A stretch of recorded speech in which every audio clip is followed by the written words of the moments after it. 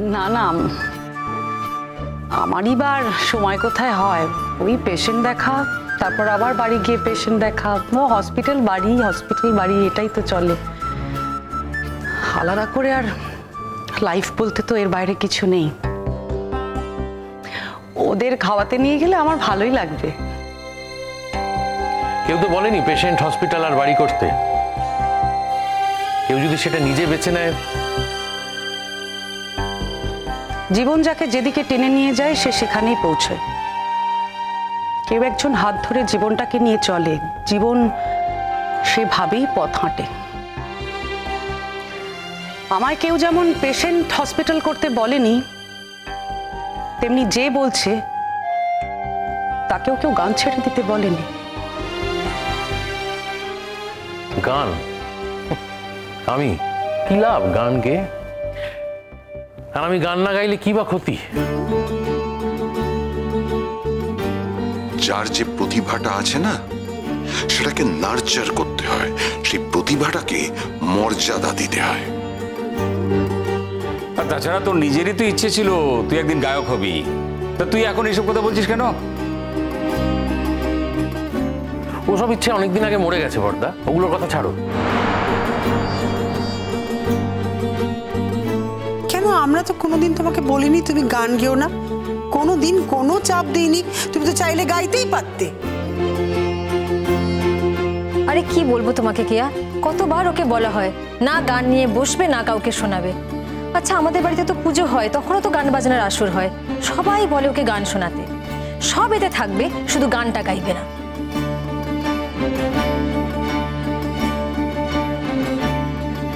কেন গাইবো গান? আমার গান শুনে একদিন আমার জীবনে চলে এসেছিল একজন। অথচ সেই গান শুনেই সে তো থেকে যেতে পারল না। সে যখন চলেই গেল, সে আমার সমস্ত সুর নিয়ে চলে গেল। আর কোথায় সুর আমার কাছে নতুন বৌদি? যে গান গাইবো। আমাকে শাস্তি দেওয়ার জন্যই তুমি গান গাও না। সারা জীবন শুধু এই একটাই ফোকাস তোমার। এই একটাই মোটো আমাকে শাস্তি দেবে, যাতে আমি সব থেকে কষ্ট পাই, সেই ব্যবস্থাই করবে। তুমি জানো, তুমি গান ছেড়ে দিয়েছ বলে তুমি তুমি গান গাও না বলে সব থেকে কষ্ট আমি পাই। বেশ বেশ, দাও। দাও কষ্ট দাও, আরও কষ্ট দাও আমাকে। গেও না গান। আমিও পেশেন্ট আর হসপিটাল নিয়ে বাকি জীবনটা কাটিয়ে দেবো। এক মুহূর্তের জন্য নিজের জন্য সময় রাখব না। তুমি তো চাইতে ডাক্তারির বাইরে আমাদের একটা আলাদা জীবন থাকবে। সেই জীবন আমি নিজের হাতে ধ্বংস করে দিয়েছি। খুশি তো? খুশি তো এখন?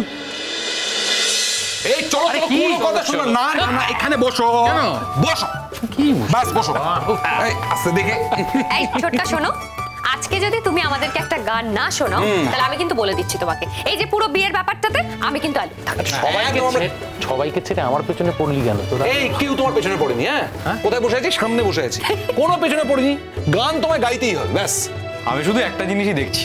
কেয়া ফুল আসার পর থেকে এই বাড়ির পুরো সিস্টেম কিন্তু বদলে গেছে। মানে বুঝলাম না। ইমা না বোঝার তো কিছু নেই ছোটকা। কেয়া ফুল আসার পর থেকে সবটা সিস্টেমে রান করছে। আমরা তো কত কিছু উল্টোপাল্টা কাজ করছিলাম। না না না তোমরা উল্টো পাল্টা কাজ করছিলে না তোমরা ছড়াচ্ছিলে। এই যে এক মিনিট ভাইয়া এক মিনিট এক মিনিট। তোমরা ছড়াচ্ছিলে মানে এটা কি? বুঝতে পারলাম না। না না। এই তোমাদের মধ্যে তো তুমিও আছো। মানে আমরা যদি ছড়িয়ে থাকি তার মানে তুমিও ছড়িয়েছো? কি? আরে বাবা টুটুল ও কি করে ছড়াবে বলো তো? হুম?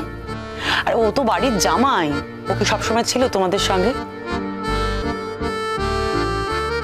ওই দেখো দেখো দেখো দেখো। হ্যাঁ তাহলে আমিও বাড়ির বউ।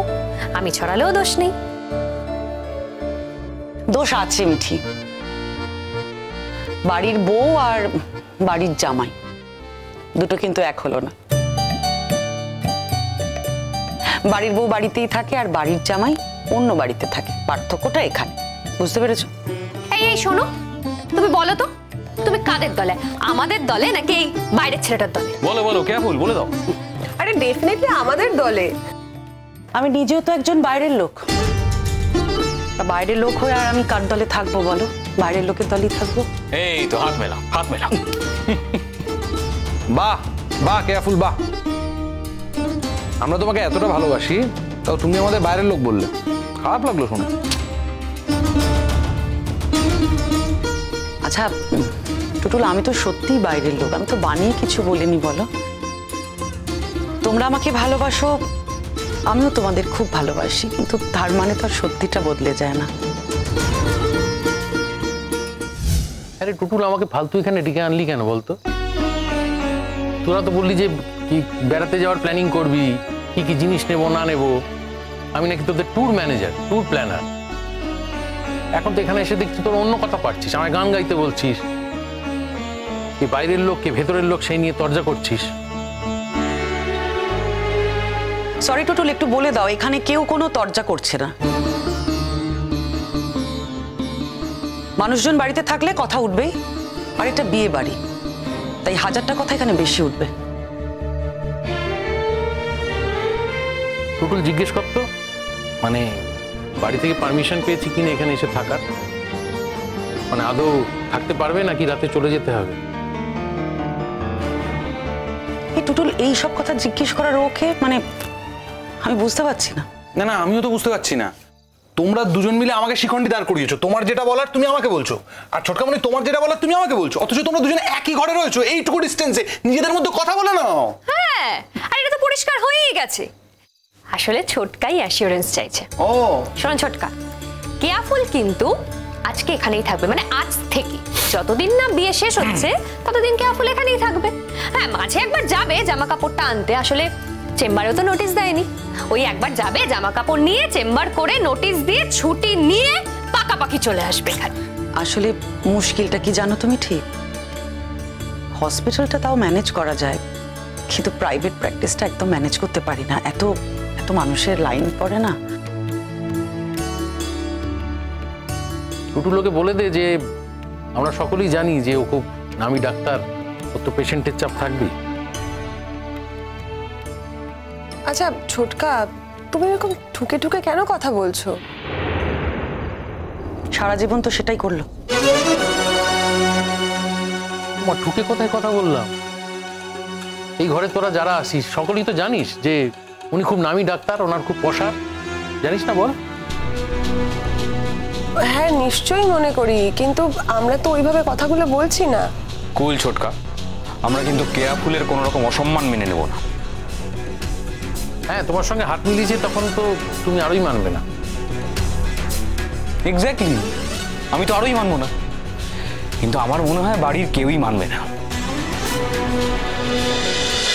দিন সোম থেকে রবি বিকেল সাড়ে পাঁচটায়। স্টার জলসায়।